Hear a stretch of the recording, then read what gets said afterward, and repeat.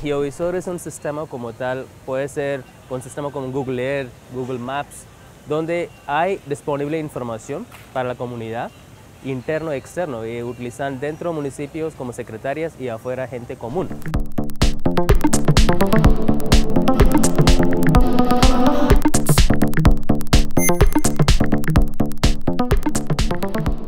Geovisor facilita tomar decisiones, más o menos. Es ahorita para tomar decisiones ellos tienen que buscar mapas disponibles en otras partes, físicos, etcétera, etcétera. Pero el sistema como tal, dar información haciendo un clic, nos da la información en, en, mano. Como, como dónde está ubicada las cosas, hasta qué distancia hay, eh, dónde está ubicado los patrimonios del municipio, y dónde está vías para tomar decisiones dónde puede expandir el municipio como tal en futuro o puede tomar decisiones dónde tiene que pasar una calle o dónde tiene que hacer otro tipo de aspectos dentro del municipio. Soluciones geoespaciales. Los sistemas de información geográficos lo que te permiten es tener información de mucho tipo. O sea, tú puedes tener información demográfica, puedes tener información hidrográfica, hídrica, perdón, puedes tener información eh, topográfica, puedes tener información de usos del suelo y lo que te hace lo que te deja hacer esto es espacializar esta información y te permite analizar y no solamente un solo tipo de información, sino sobreponer las informaciones y hacer análisis complejos, hacer análisis de diferentes, pues multidisciplinarios, por decirlo así.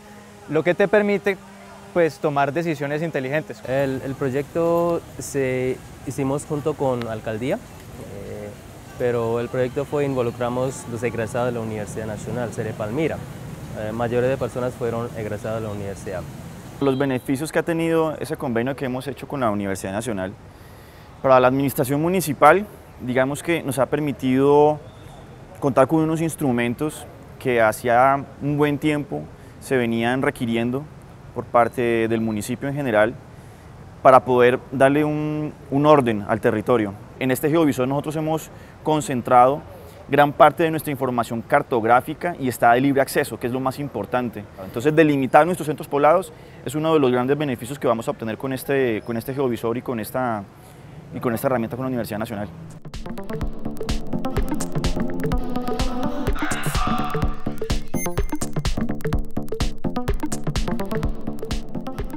Hay varias fases dentro del proyecto.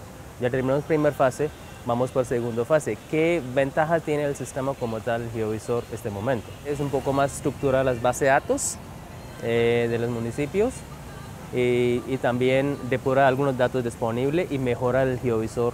El, vamos a entregar el segundo eh, versión del GeoVisor. Y en este vez estamos, vamos a poner mucho más cuidado en la interfaz y vamos a capacitar a las ciudadanas también. Hay que tener en cuenta que los sistemas de información geográficos son eh, en este momento un paso importante para el desarrollo de los municipios. Ya no es una herramienta opcional, sino que se está volviendo una herramienta obligatoria. Eh, ¿Eso qué hace con el municipio de Palmira? Pues esto nos permite dar el paso a que Palmira se posicione como un municipio inteligente y que empiece a tener como la oportunidad de desarrollarse de manera organizada. En este momento estamos eh, gestionando a través del Sistema General de Regalías eh, y un apoyo que estamos obteniendo a través de una asociación de municipios a nivel sur, suroriental del departamento del Valle que se conoce como G11, con estos municipios, trabajar un proyecto y ajustar primero un proyecto y luego lograr viabilizarlo para, una para crear una infraestructura de datos espaciales para 11 municipios. Entonces un poco esta es la apuesta, ampliar el alcance de lo que estamos haciendo con la Universidad Nacional eh, en, en toda la escala territorial y para los municipios del G11. Bye.